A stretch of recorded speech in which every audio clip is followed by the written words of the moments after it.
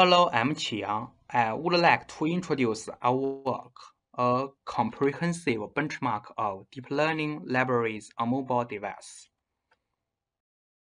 Deploying deep learning on mobile device has been a notable trend. It's reported that the DL libraries apps on Google Play Market have increased in recent years. So, optimizing inference performance has been a hot topic.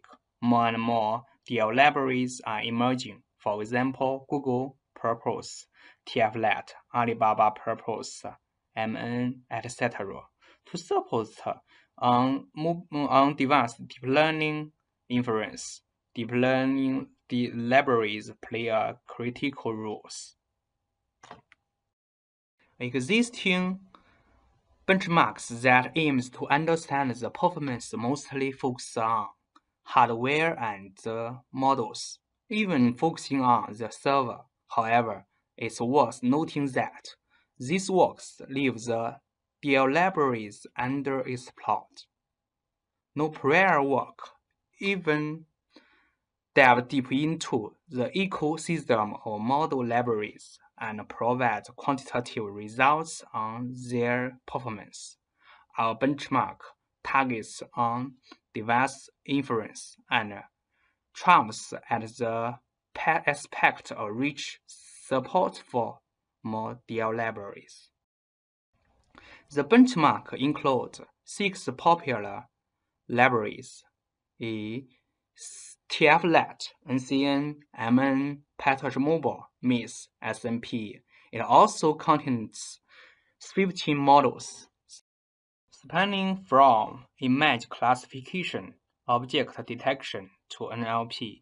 The table shows the mobile mo models with different pressures, including float, 32 and int8, and the model can run on almost CPU, GPU, DSP. More, Benchmark can run on almost every Android device. Benchmark not only supports inference time but also detailed metrics.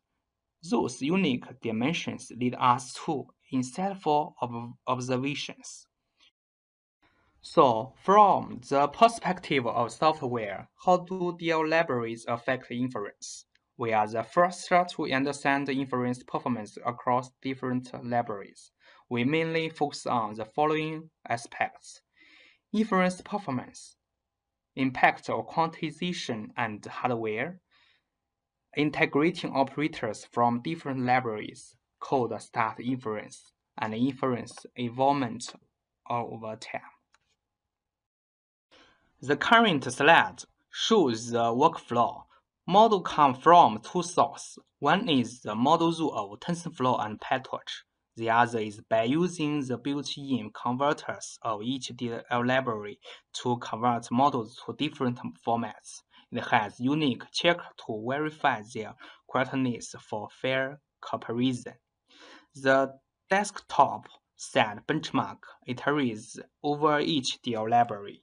It first the library and corresponding models to device through ADB. The device cleans the system environment and then loads the library and model into memory to warm up and uh, execute the inference. The testing results will be written to device storage and retrieved to desktop. In this following, I would like to share performance analysis from several aspects. First of all, we all use CPU to understand the library performance.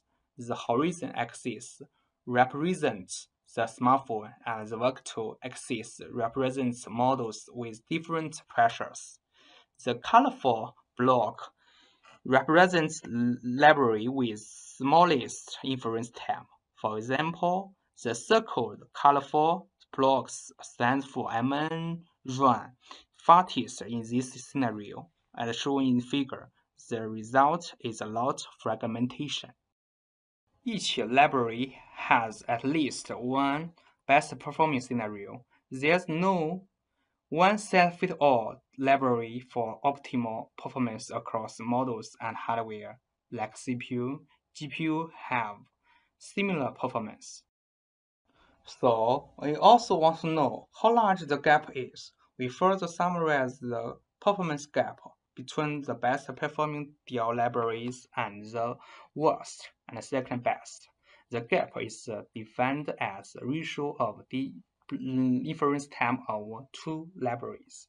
Though these libraries are all specifically designed for mobile device, we find the number in the table is large. Therefore, the performance gap can be quite severe. And we deem that model complexity does affect inference time. For example, the complexity represented by flops and the number of model parameters. Although Mobile NovNet v2 and MnasNet have, have similar flops and parameters, their performance vary a lot across different DL libraries, since heterogeneity makes on-device optimization more difficult. Therefore, to pursue the optimal performance and uh, the developers need to incorporate different libraries and dynamic local one based on the current model and hardware platform. The figure summarizes the best inference performance on different model representations. We focus on the C32 and C8. It shows the quantization on CPU indeed, indeed brings inference speed up in most scenarios, but the quantization speed up effect is smaller than theoretical value. There are following primary reasons. Model Mobile system, system of chips also have good, good support for flops, and uh, the converting between int and flops can in, incur non-trivial overhead. Not every model can be accelerated through int8 quantization. In certain cases, the int8 based inference is even slower than float. There exists great potential at software level to accelerate the inference of quantized models. We would like to investigate how GPU affects performance across the library. We focused on C32 and uh, G32 as known to us. GPU can indeed uh, bring inference speed up, but in certain cases, GPU even runs slower than CPU. Then we focused on G32 and uh, G8. On int8 based on models, GPU can hardly bring any benefit. There are following primary reasons. Firstly, mobile GPUs are mainly designed for rendering instead of general purpose computing. Secondly, the deep learning libraries are not as well optimized for GPUs as CPU. Thirdly, mobile GPU often often don't have native support for int8 date format. Therefore, the IQ inference falls back to flops 32 false. They lack GPU support for some operators, and those operators will fall back to run on CPU, which incur overhead of data Our findings motivate DL libraries developers to focus on GPU optimization, including support more types of operators and single operators performance. It also motivates DL libraries research to design the models suitable for GPU computing. In this slide, we focus on C32 and D8 running on DSP can reduce the inference time. There is uh, mainly because DSP has equipped with AI capacities. DL libraries perform even worse on those hardware. In other words, the current DL libraries cannot fully exploit the capacity of each hardware. It also motivates DL libraries research to design the models suitable for hardware computing and the reduce high memory access operators. And how about integrating the best performing operators from libraries? We established an Oracle lab that combines the faster operator from libraries in the table by combining the operator from different libraries. We are can achieve 0 to about 30% inference time reduction across different models. As different libraries have different ways to Im implementation, so diversity needs to be unified before the operator can be combined.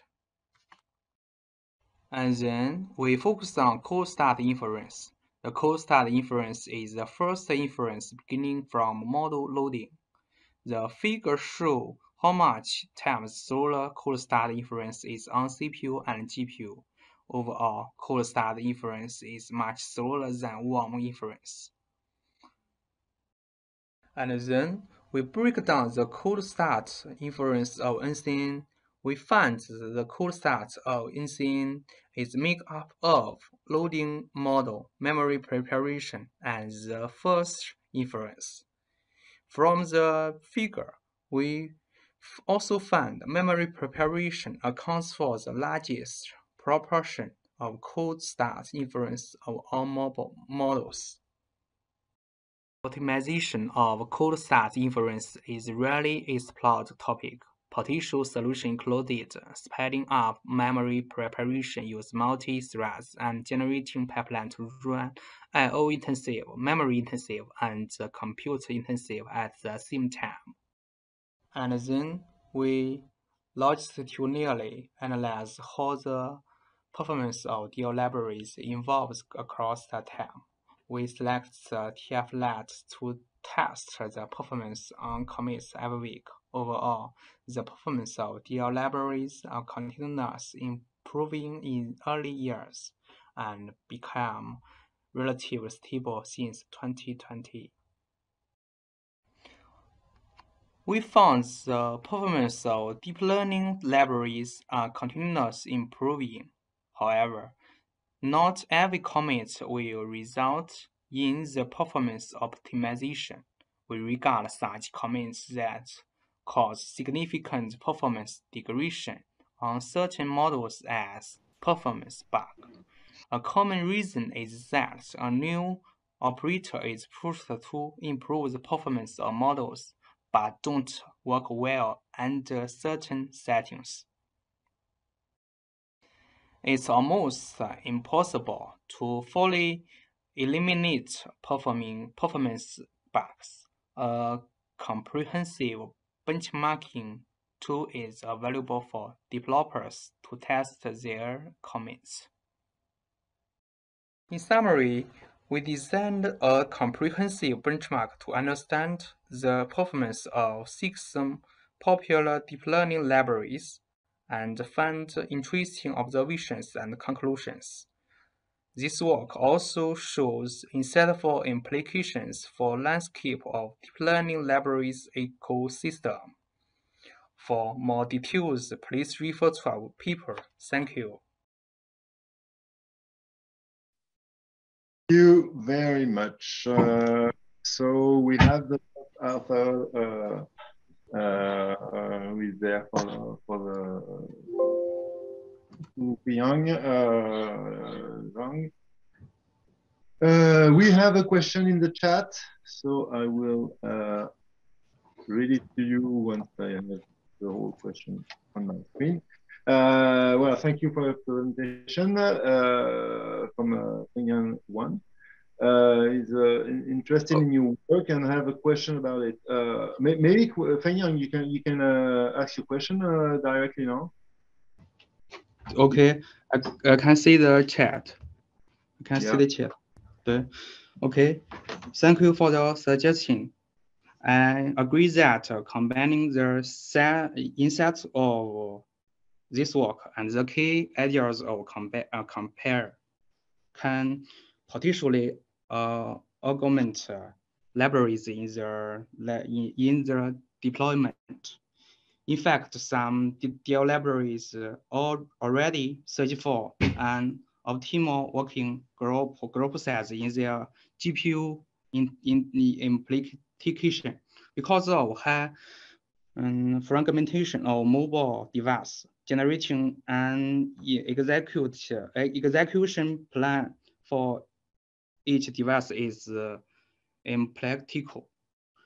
So uh, I think I think if possible, I plan to add uh, them to DL libraries to accelerate the inference. Um, according to our measurements, on most of the models, the performance is not even close to our tested DL libraries after many hours of, of, of uh, search.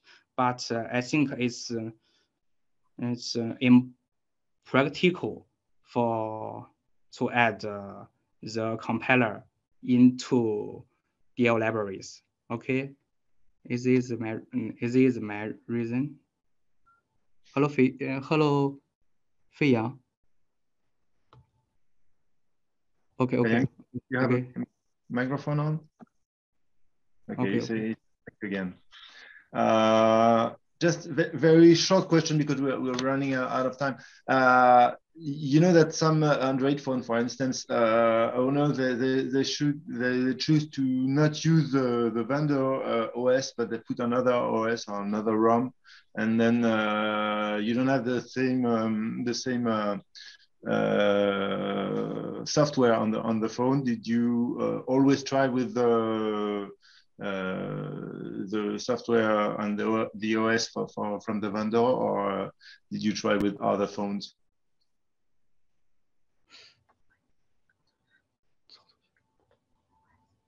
Okay. Uh, uh, and I don't understand what you said, but uh, what uh, and understand uh, get uh, grasp for your means is uh, if if we change the OS. Yeah. Um, but um, but we focus on we focus on the the smartphone. Smartphone is, is we choose the um, develop, de de developed de the developed list uh, representative smartphones from um, such as um, non 就是 quantum and uh, hot smart smartphones. But I think the benchmark can run all almost uh, mobile device it, it can not only run on uh, smartphones, but also can run um, in re representative and uh, other mobile device. Okay, thank you. Okay, thank you very much uh, for your presentation.